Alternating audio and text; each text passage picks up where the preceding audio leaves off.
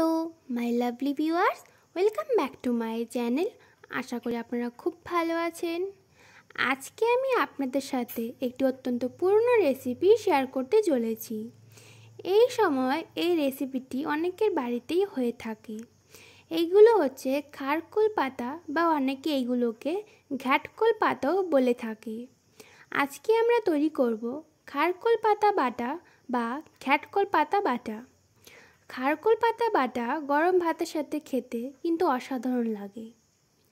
আমার বাড়ির চারিদিকে খারকোল পাতা অনেক কটাই হয়ে আছে। সেখান থেকে আমি আমার পছন্দ মতো পাতা বাছাই করে নিচ্ছি। এইগুলো আপনারা বাজারে পেয়ে যাবেন। আমি এখানে এক আটির মতো খারকোল পাতা জোগাড় করছি। এবার আমি পাতাগুলো খুব ভালোভাবে বেছে নেব।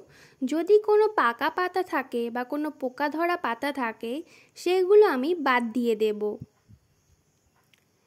এবার আমি খারকোল পাতা বা ঘ্যাটকোল পাতার যে পেছনে ডাটিগুলো আছে, সেগুলো কেটে নেব। কেটে পাতাগুলোকে খুব ভালোভাবে ধুয়ে নেব।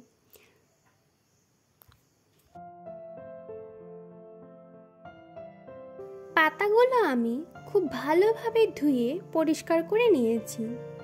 এবার আমি পাতাগুলো সামান্য একটু কেটে নেব। কুচি কুচি করে কাটবো না, মিডিয়াম সাইজের আমি কেটে নেব প্রত্যেকটা পাতায়। ঠিক এইভাবে প্রত্যেকটা পাতা আমি কেটে নেব যাতে রান্না করতে আমাদের সুবিধা হয়। আমার চ্যানেলে যুক্ত থাকতে চ্যানেলটিকে সাবস্ক্রাইব করুন আর পাশে বেল আইকনটিকে প্রেস করে দেবেন যাতে পরবর্তী ভিডিও নোটিফিকেশান সবার আগে আপনার কাছে পৌঁছে যায়।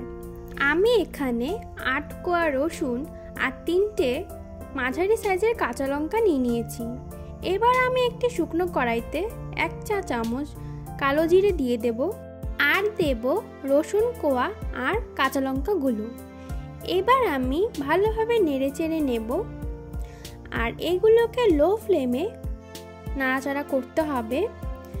মিনিট পাঁচেক ধরে এগুলোকে খুব ভালোভাবে নেড়ে চেড়ে নিতে হবে আমাদের। এবার আমি এইগুলোকে একটি বাটিতে তুলে নিচ্ছি। এইগুলো হালকা ভাজা ভাজা হয়ে গেছে। ঠিক একই কড়াইতে আমরা পাতাগুলো দিয়ে দেব, ঘ্যাটকল পাতা বা খারকল পাতাগুলো। কড়াইতে আমরা কোনো রকম জল ব্যবহার করব না। পাতাগুলোকে আমরা হাই ফ্লেমে নেড়ে চেড়ে নেব যাতে পাতার মধ্যে থাকা জল শুকিয়ে আসে। বেশ কিছুক্ষণ সময় ধরে এই খারকোল পাতা বা এই ঘ্যাটকোল পাতাগুলোকে আমরা শুকিয়ে নেব, নয়তো আবার গলা ধরার সম্ভাবনা থাকে।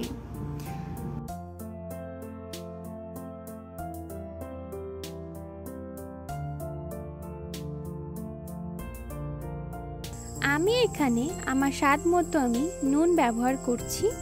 পরে যদি প্রয়োজন হয় আপনার টেস্ট করে পরেও আবার অ্যাড করতে পারেন। এবার আমি এগুলোকে আবার খুব ভালোভাবে নেড়ে চেড়ে নিচ্ছি। বেশ কিছুক্ষণ আমি ঠিক এইভাবেই নাড়াচাড়া করতে থাকব। দেখুন, পাতাগুলো আগের তুলনায় অনেকটাই কিন্তু শুকিয়ে আসছে। ঠিক একই পদ্ধতিতে আমরা এগুলোকে পুরোপুরি শুকিয়ে নেব। এই দেখুন, সাইড থেকে জল বেরোতে শুরু করেছে। পাতাগুলো একদমই শুকিয়ে গেছে। এবার জলটাকে হালকা এবার আমরা শুকিয়ে নেব। পাতাগুলোকে আমি শিলের মধ্যে পিষে নিচ্ছি খুব ভালো করে। আপনারা চাইলে মিক্সিতেও এগুলোকে পেস্ট করে নিতে পারেন।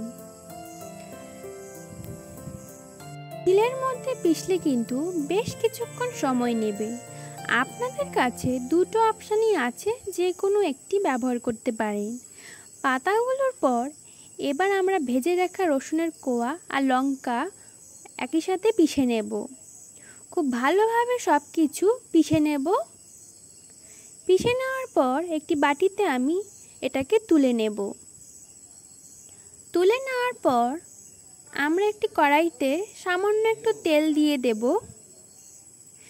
তেলটা গরম হলে বাটাটাকে আমরা এবার দিয়ে দেব। দিয়ে খুব ভালোভাবে নেড়েচেড়ে নেব।